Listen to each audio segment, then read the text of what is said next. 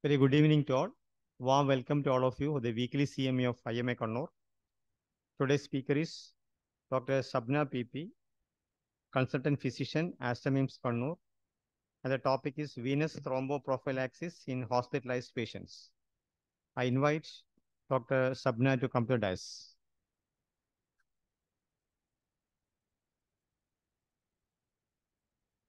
Before going to CME, association matters by the Joint Secretary.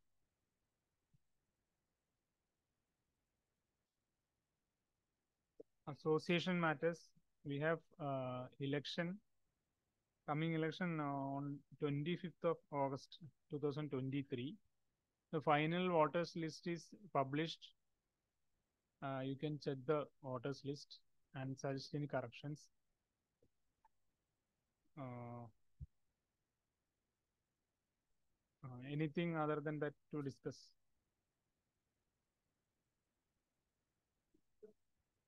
What um, final what voters list is published. Election 25th. 25th ne? August. August 25th August.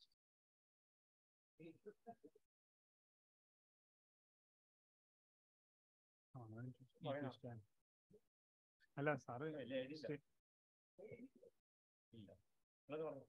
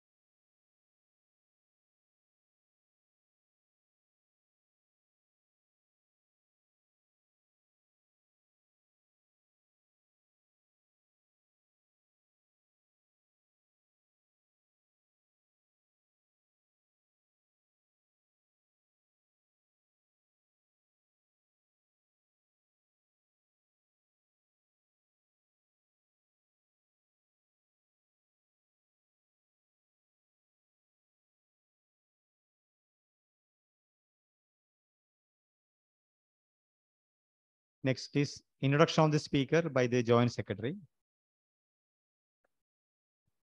Dr. Sabna PP, consultant physician at Aster MIMS, Kannur. She did her MBBS uh, in year 2003 from uh, Rajiv Gandhi University, Bangalore. She did her MD General Medicine from uh, Medical College near 2009. Uh, her husband is uh, Dr. Shabi. Uh, he's a surgeon at Talasheri Cooperative. Uh, they have uh, two children, Aisa and Omar. Warm welcome to Dr. Sabna to Kannur IMA.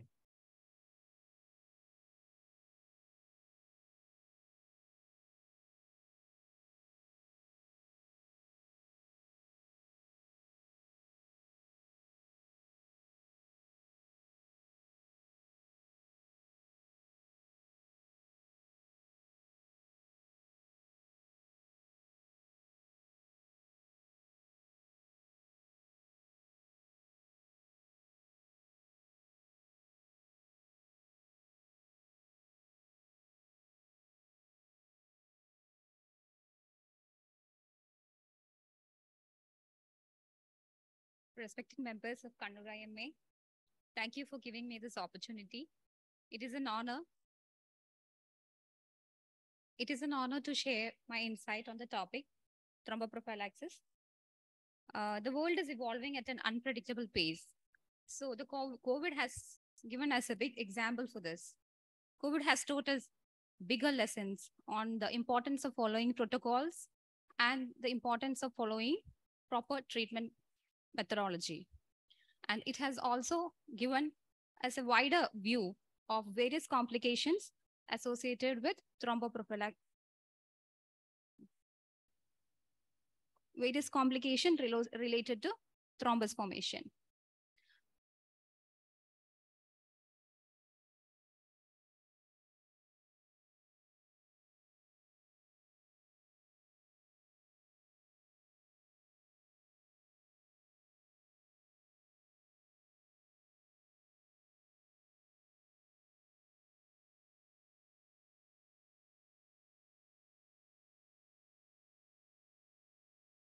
So my topic is venous thromboprophylaxis, and the discussion will be mainly on patients who has been admitted in hospital.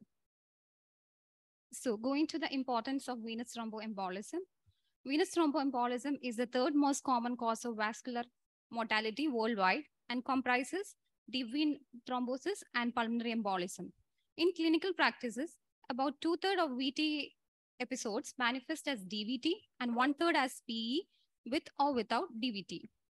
Less frequently, thrombosis affect other veins also, including the upper extremity veins, cerebral venous sinuses, and mesenteric, renal, and hepatic veins. So the primary goal of pharmacological VTE prophylaxis is to prevent fatal PE and DVT. Prophylaxis is associated with a reduction in mortality.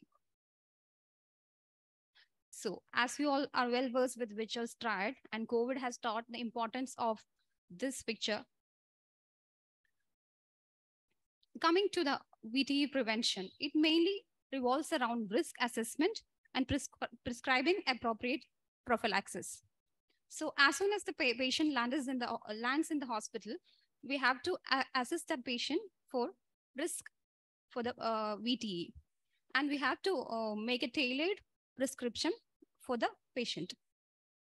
So let's see what are the indication for VTE prophylaxis. VTE prophylaxis is mainly given for medical patients who are critically ill, surgical patients with major abdominal pelvic surgery for cancer, major trauma, cardiac surgery, mental health patients, general and abdominal pelvic surgery, thoracic surgery, total hip replacement, and total knee arthroplasty.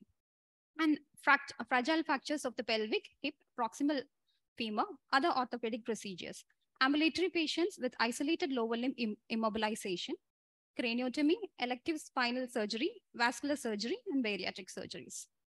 So the risk assessment tool mainly consists of Padua risk assessment score, improved risk score, Caprini score, Khorana scores. So these are the common scores which we uh, use it in the hospital to assess the adult venous thromboembolism risk. So let's go to the Padua score.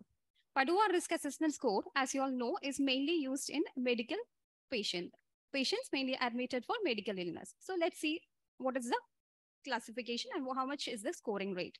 So in conditions with active cancer, history of VTE, immobilization, and laboratory proven thrombophilia, each, each carries three point, and history of recent trauma and or surgery, two points, and age more than 70, acute MI or CVA, acute infection, rheumatological disorders, BMI more than 30, and hormone therapy, this all carries one point each. So a score more than four is considered as high risk for VTE, and we have to start the patient on thromboprophylaxis. Now coming to the improved VTE risk score. This again is a scoring system which we use in medical ICUs and in medically, medically ill patients. So the scoring system uh, comes from zero to five, which carries the predicted risk at 35 to 42 days and 77 days. So this is the scoring system. Now coming to the Caprini score. As we all know that many of the, most often we encountered thromboembolism in a surgical patient because at, that, at, at a time we miss the thromboprophylaxis. So let's see Caprini scoring system is usually uh, taken in case of decision in surgical treatment. Uh, so risk assessment tool for uh, this consists of uh, five point marking system in which uh, the five, one point is given each for age between 41 to 60 years, two point for 61 to 74 years. And as the age increases, the point system also increases and the risk is increased. And various other uh, risk factors like minor surgeries, BMI more than 25, swollen links, varicose veins, history of unexplained or recurrent abortions, pregnancy or postpartum state, oral contraceptives and hormone replacement, and other medical condition also involves the point system. So this is easily available in the internet as a calculator, as med MediCalculator system, it is available. So it will be much easier for us to calculate now.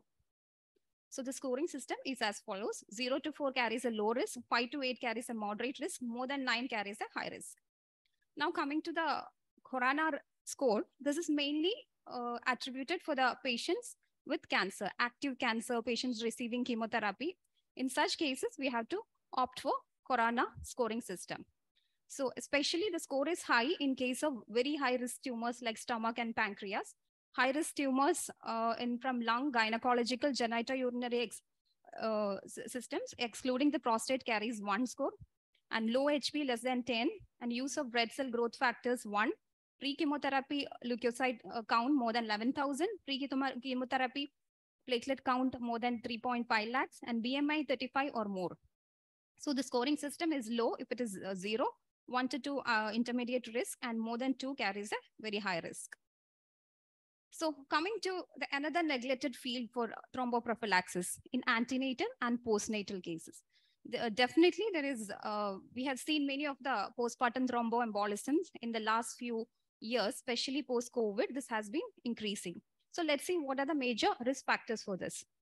So the scoring system uh, considers uh, any previous VTE except single event related to major surgery, high risk thrombophilia, hospital admission for any uh, critical illness, previous VTE related to major surgery, cesarean section in labor, BMI again carries uh, risk scores, and readmission or prolonged admission in puerperium state. Any surgical procedure in the puerperium uh, except immediate repair of the perineum, heart failure, active SLE, cancer, inflammatory bowel disease, inflammatory polyarthropathy, nephrotic syndrome, sickle cell disease, current IV drug users, type 1 DM and nephropathy. These are the risk factors. Again, this uh, is a um, major risk. Even uh, cases like hyperemesis is also considered as a transient risk, especially in patient who is already having additional risk factors dehydration and hyperemesis and COVID is also considered as a uh, pregnancy related risk factor and the scoring also increases. So this is the importance of uh, giving thromboprophylaxis in uh, antenatal and postnatal. So depending on the score, we have to decide how when to start the thromboprophylaxis and till when to give the thromboprophylaxis. If the score is more than four antenatally, consider thromboprophylaxis from first trimester. And if the score is 3 antenatally consider from 28 weeks. If the score is more than 2, postnatally consider for at least 10 days. If the patient is admitted to the hospital antenatally, con uh, consider again thromboprophylaxis till the uh, due date, like, uh, especially in critical illness. If uh, prolonged admission more than three days or readmission to the hospital within the VPN, consider again, we have to consider for the uh, thromboprophylaxis. Often uh, this is missed and uh, most of the cases land up with uh, VT and PE. So this is the RCOG uh, guidelines for uh, obstetric thromboprophylaxis and risk assessment management. Uh, this again classifies as four categories, high risk, intermediate risk, and the lower risk. Again, the duration of giving prophylaxis is decided upon the scoring system. This is for postnatal assessment and management for uh, thromboprophylaxis. Again, high risk, intermediate risk has been classified according to the scoring system. Again, one of the gray areas where we neglect is the mental health patients. When patients who are uh, mental uh, admitted in the hospital for adult mental health uh, diseases are also needed to give uh, uh, especially uh, in these cases, we had to adopt again the medical system for a risk assessment, that is Padua score. Again, as I mentioned earlier, we have to go according to that. Uh, this is uh, mainly for patients who are immobile due to a mental health disease. So coming to what to give. So we have a pharmacological option, mechanical option, and IVC filter. So coming to the pharmacological options, you have LMWH and fondaparinux. As you all know the doses, uh, it is uh, a preferred option in patients with uh, renal impairment or patients at high risk of bleeding. And uh, then again the dalteparin, 2,500 sub-Q in low risk cases and 5,000 sub-Q in case of high risk. Again, enoxaparin, 40 uh, OD in uh, low risk and um, 30 mg BD in high risk, then fondaparinux 2.5 mg sub-QOD. Coming to UFH, this is a better option with uh, for patient with renal impairment and patient at a higher risk for bleeding because uh, LMWH carries a longer duration of action. So UFH uh, is better. So 5000 unit sub-Q TID is the uh, dose for higher risk with a low, low bleeding tendencies. Coming to DOAC, DOAC usually not much preferred in case of uh, hospitalized patient. Hospitalized patient, it will be always better to start on LMWH or heparin, but if the risk is low and the uh, the thromboprophylaxis has to be continued for a longer time, you can definitely go for a DOAs, uh, which include uh, rivaroxaban, dabigatran, and apixaban. And coming to the antiplatelets, antiplatelets are considered as the least option, option for specific orthopedic patients without any additional VTE risk factors. And in those, the other methods of uh, DVT, um, pharmacological methods are contraindicated. So in such cases where you cannot give anything, you can give low dose aspirin. And this uh, uh, is of very low importance because uh, this has to be considered as the least option for thromboprophylaxis. Again, coming to the MOAs and uh, uses of uh, the DOAs, the dabigatran, rivaroxaban, apixaban, endoxaban, and betrixaban. This has been in market since COVID, and we have been using it long. And this is a real blessing in case of uh, DVT and uh, PE, in which patient can be discharged earlier to home, and there is no need of monitoring INR. So uh, such cases, uh, this has been a real blessing in situations. So coming to dabigatran, as you all know, it is an oral direct uh, thrombin inhibitor. It can be used in treatment of VTE and secondary prevention also. So the doses again 110 day one and 220 from day two for one month. This has to be taken, it can be taken with or without food and it should not be crushed. Again, coming to the rivaroxaban, it is a direct 10A inhibitor. It can again use B. So the dose is usually once daily, uh, 10 milligram for the first, uh, and for, uh, for 12 days, it has to be continued in case of TKR and 35 days for THR. Uh, it can be used with food and it can be crushed. And apixaban, apixaban has also been widely used, especially in orthopedic surgeries. And it has been widely uh, used post TKR and THR. It has been given for 12 days to 35 days. And one uh, odd thing about uh, apixaban is it has to be usually given without food. It, like it should be given with food. That is the better option, which is always considered in case of apixaban. And endoxaban, again, uh, we can use for VTE treatment and secondary prophylaxis. And betrixaban is also an, an option.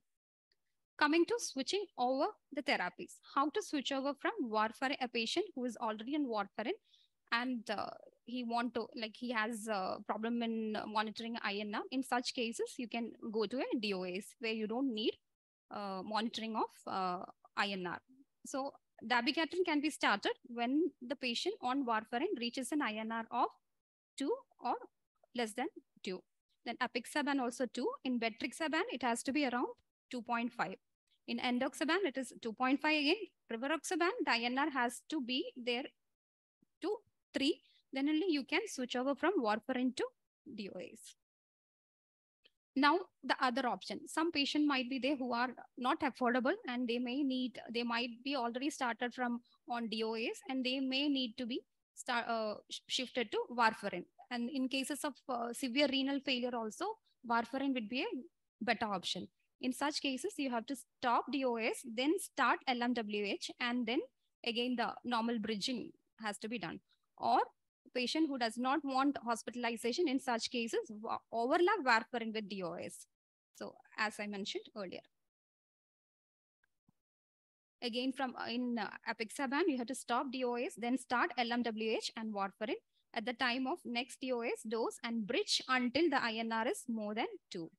Again, rivaroxaban, stop DOS, then start LMWH and warfarin at the time of next DOS dose and bridge it when the INR is more than 2. And endoxaban for 60 mg, reduce uh, 60 mg dose, reduce dose to 30 mg and start warfarin concomitantly. Then uh, for 30 mg, dose reduce to 15 mg and start warfarin along uh, the side. And stop endoxaban when INR is more than 2. Coming to dabigatran, again start warfarin and overlap with dabigatran. This is for creatinine clearance rate. We have to overlap uh, for three days, two days, and one days respectively, according to the creatinine clearance.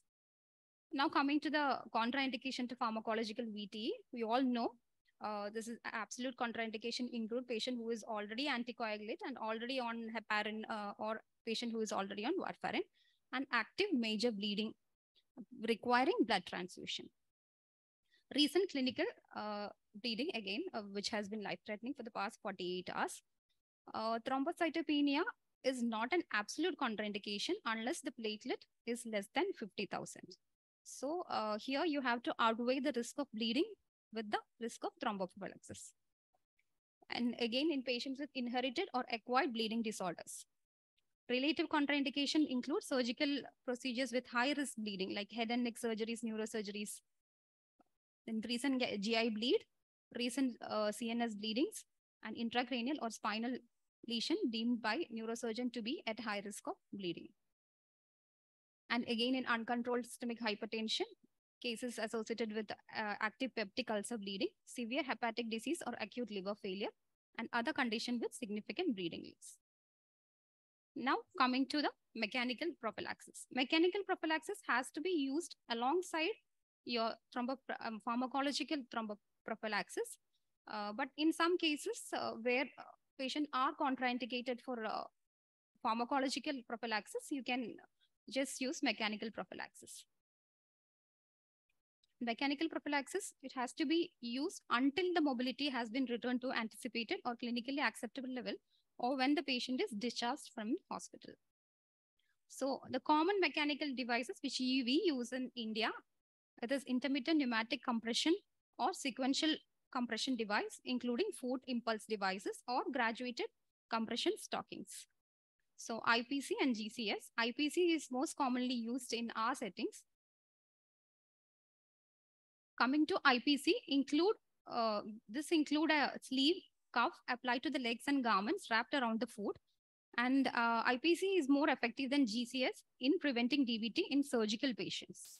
IPC is recommended over GCS in patients with moderate to high VTE risk and patients who are not receiving pharmacological prophylaxis, like patients who are having severe thrombocytopenia or bleeding upper GI bleeds. In such cases, you have to make sure that patient is at least on a mechanical thromboprophylaxis.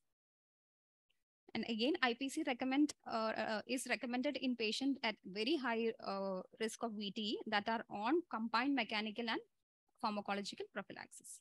And again, GCS, uh, it applies pressure on the leg muscles to squeeze the vein valves. Uh, so it gives a greater degree of compression at the ankles and decreases the level of compression at the legs. This helps to increase the blood flow upwards to the heart and instead of it is reflecting uh, downwards, unlike the IPCs. So again, you have to consider uh, some factors for uh, initiation of mechanical prophylaxis. Uh, IPCs or sequential either can be selected according to the patient. And these are the some of the things which you have to make sure before starting on mechanical prophylaxis. Like uh, you have to measure the patient's uh, uh, correct cup size has to be maintained and you have to instruct give proper instruction to be given to the staff. And again, the graduated compression stockings, the measurements and other manufacturer recommendations should be checked. And you should encourage the patient to wear stockings continuously day and night until mobility is no longer significantly reduced or unless otherwise specified by the treating medical team. Advise patient not to roll or fold the stockings for mobilizing because there's a risk of fall. Then let's see what are the contraindication for mechanical VTE, like severe peripheral artery disease or ulcers in the leg, recent skin grafting, peripheral artery bypass graft, leg edema or pulmonary edema for congestive heart failure because the blood again rushes to the heart and it can worsen pulmonary edema. Then known allergy to materials of the and uh, of the particular device and severe local problems on the legs like gangrene, dermatitis, untreated infectious wound, fragile tissue paper skin. So again, before starting mechanical prophylaxis, you have to do a vascular assessment uh, test, which includes palpation of the peripheral pulses, skin blanch test before uh, starting on the uh, devices. And there are some patients for him, IPC is suitable than GCS. This is a patient admitted with stroke and severe leg deformity and severe peripheral neuropathy. Now coming to the IVC filters. IVC filters is a filter which we are fitting into the uh, in, uh, IVCs, this in, reduces the risk of PE. But there is no strong evidence to support the prophylactic use of IVC. This has to be considered only in patients who are contraindicated for both the mechanical as well as the um, pharmacological prophylaxis and patients who are at very high risk for VTE. There is no uh, strong evidence for the use of IVC filters. This is the usual IVC filter we use. Now coming to a little bit of uh, clinical scenarios. Uh, we'll just assess the tool system which we have been introduced right now. So 45 year old female patient has been admitted with UTI. Uh, she is a known case of rheumatoid arthritis. She's on methotrexate. So in this patient, we have to use Padua score. So uh, since she is having rheumatoid arthritis, the score system is low. So it is a low risk. So she need not need a uh, thromboprophylaxis. And considering the second case, it is a patient who has been admitted for total hip replacement. So here we have to use the Caprini score. Uh, here the patient's age is 70 and 70 years. So scoring increases and the procedure is THR. So that, that again carries five score. So 5 plus 2, Caprini score comes to around 7. So she definitely need a thromboprophylaxis. Now coming to the reversal.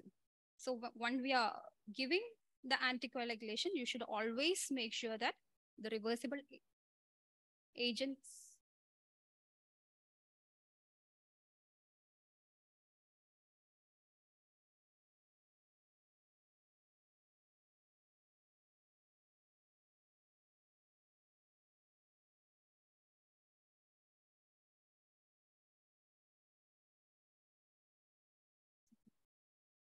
reversible agents are available. So as you all know, heparin, protamine sulfate, UFH also protamine can be used, dabigatran.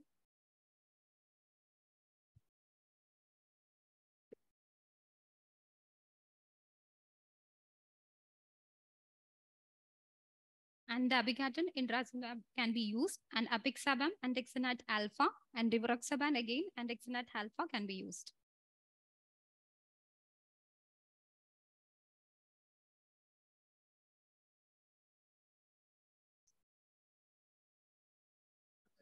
Mm.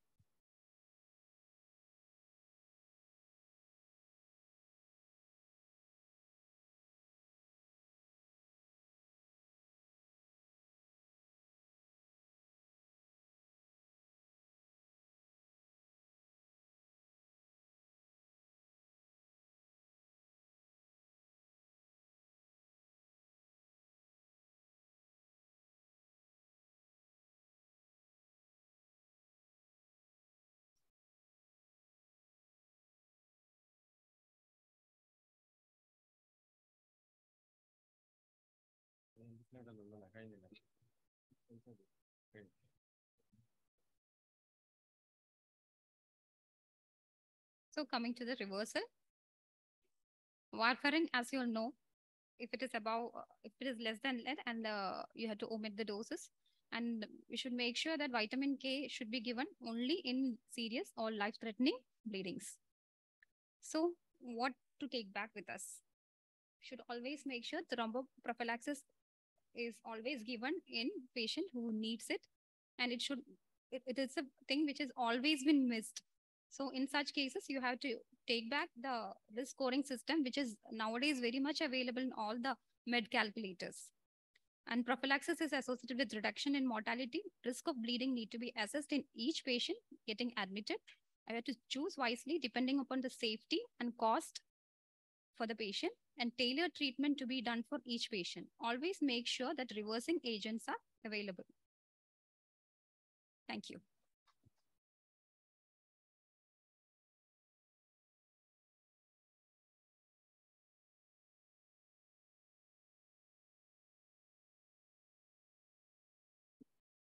Thank you, Dr. Sabna, for the excellent and very informative talk on thromboembolism.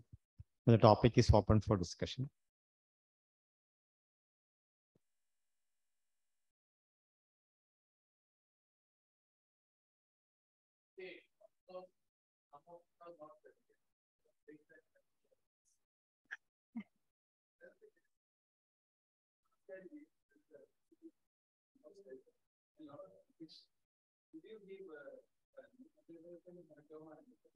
Uh,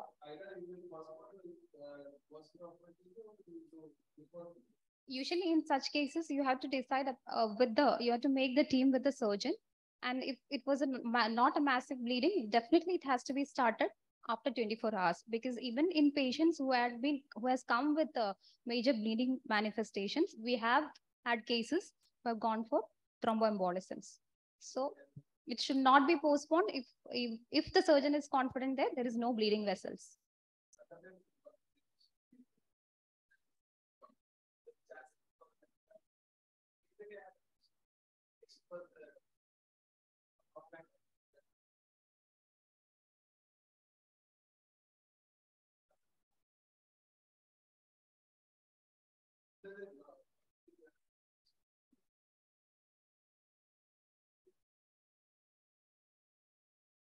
yeah because uh, this from the point of surgeons uh, they think that even if the patient comes with a vte it is okay.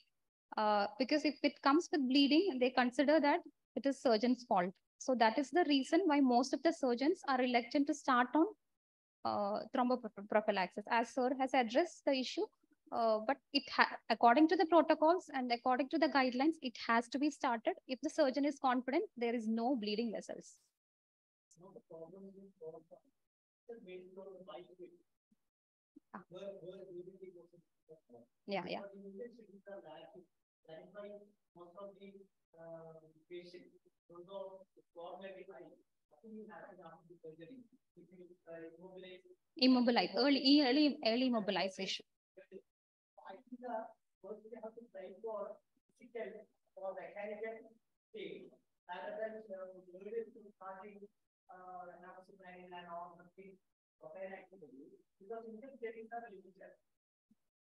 Yeah.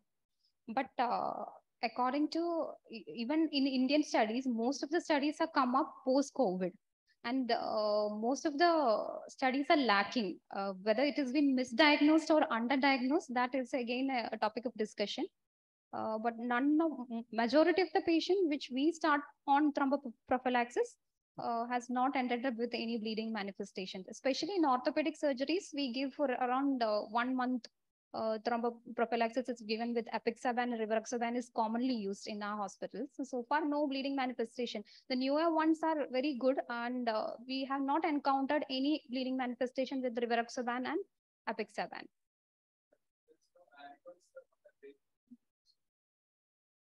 Yeah.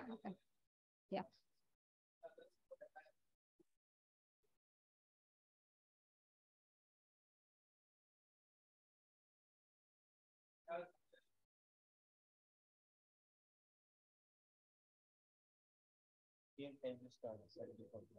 Yeah, ideal time to start surgical prophylaxis again is within 24 hours after uh, so, uh, 24 hours after surgery. If the patient is yeah after surgery.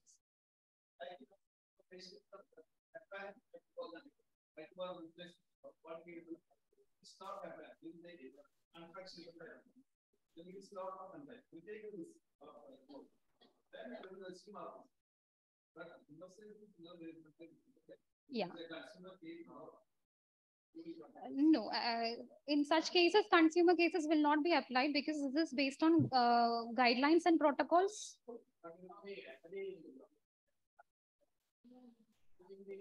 Yeah, yeah.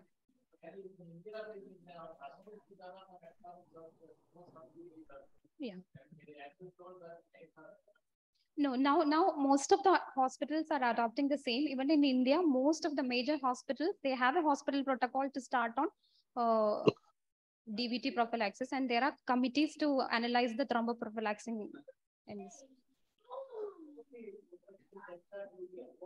Yeah, bleeding. Bleeding is common. Bye, bye.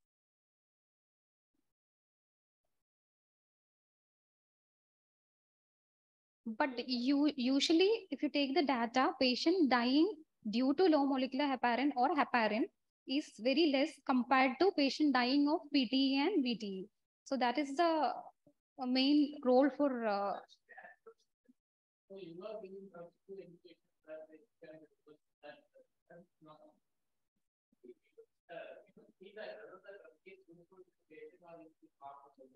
the the. Then we actually they are having a basically micro one they are following like because the which is not a way to this fresh which is more daily for the you are taking chance any guy or the thing actually apply even with micro considering No, even in thromboprophylaxis in mechanical valves, it has to be start stop max before four hours. That's why we uh, uh, switch over to heparin. And as soon as the surgery, once the bleeding risk, it has to be started because the cases of thromboembolism is very high. Uh, many cases have, uh, you know, uh, we don't know the cause for death. The patient died post surgery. So such cases are mostly attributed to postmortem findings are attributed to embolic embolism. The only thing is we uh, in we don't have a larger Indian studies to monitor this.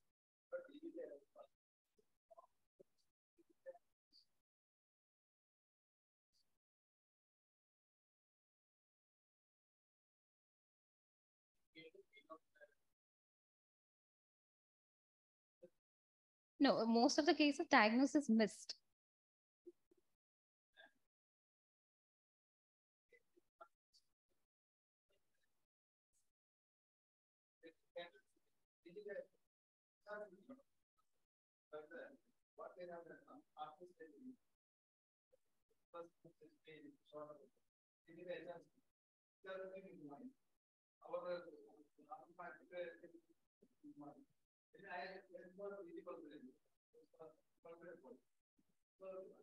That's what matters. It's what we should do. You know, our quality, we get configuration program. What is the reason?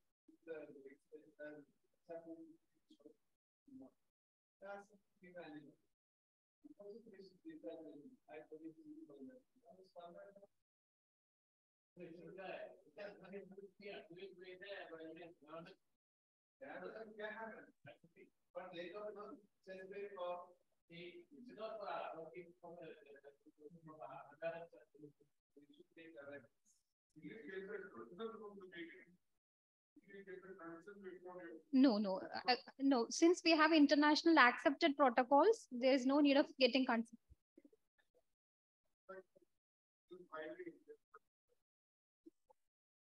No, there is no consent. As far there is no legal uh, problem in starting uh, thermoplasty.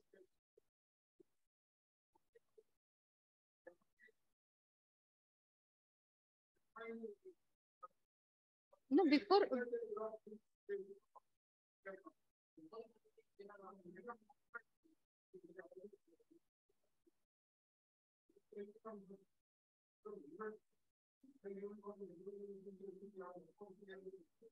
No, there is le legally there is no uh, need for consent because this is a drug. Uh, if it is like that, we may need to start for warfarin, everything, heparin, everything we may need to. Even uh, when you're giving paracetamol, we may need to give consent, take consent because it can cause sleep. Yeah. In, in that, it will be included bleeding and clotting risk. It is included.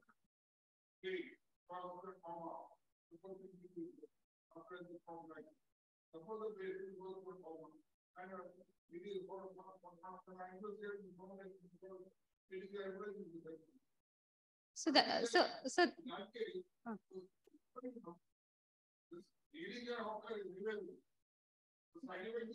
So that is why we have the Caprini system of scoring to assess the risk. Only in high risk patient we need to start, not for all the patients.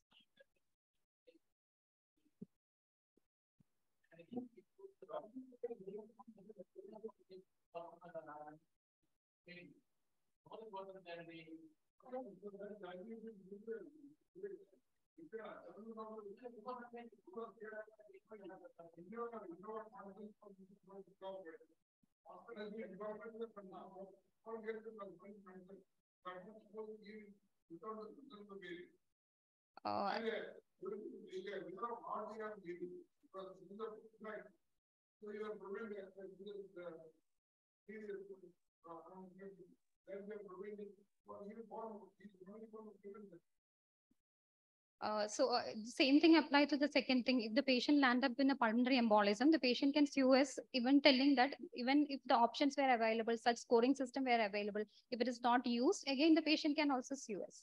So any drug will have a effect and a side effect. Not all the drugs have an antidote. So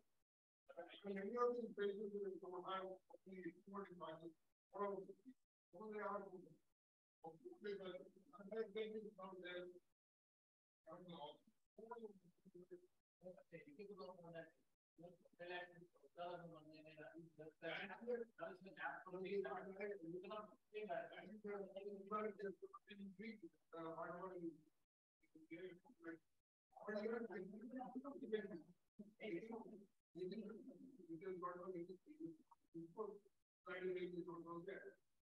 don't have the reporting margin, or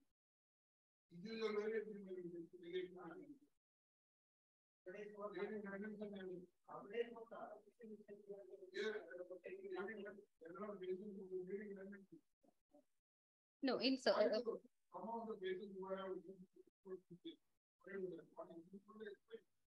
no, in,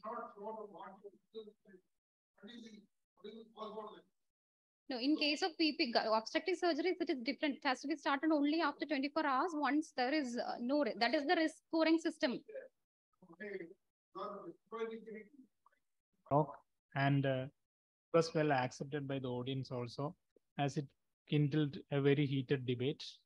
Thank you. And I, on behalf of IMA Kannur, I thank each and every one of the members for attending this meeting. Thank you.